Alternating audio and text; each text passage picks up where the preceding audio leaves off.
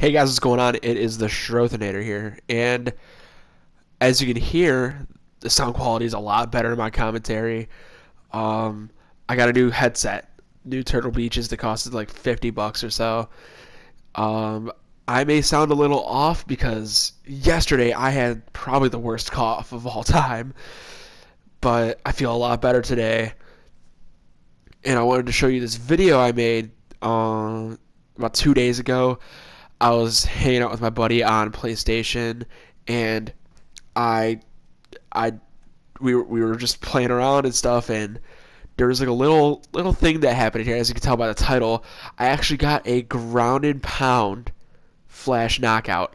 I've never ever seen that before in EA Sports UFC 1 or EA Sports UFC 2. And I know in EA Sports UFC 1 they didn't they just didn't occur in that game.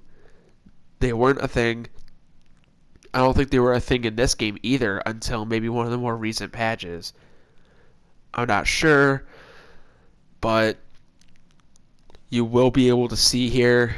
I'm trying to go for a submission at Stefan Struve, and you know he's rolling around.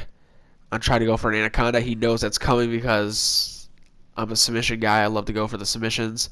I end up getting back side control here. See, I'm trying to get a hammer fist in, trying to not let him roll the guard, but then he does, and then I'm like, all right, I'm gonna go to side control, and I'm gonna land some ground and pound, see what I can work with here.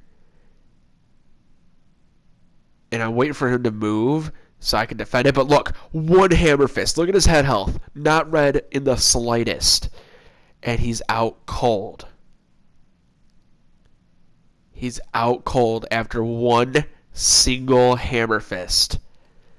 I've never seen a ground and pound flash knockout in this game or in the last game. If you guys have seen it before, let me know. If you haven't, let me know in the comments.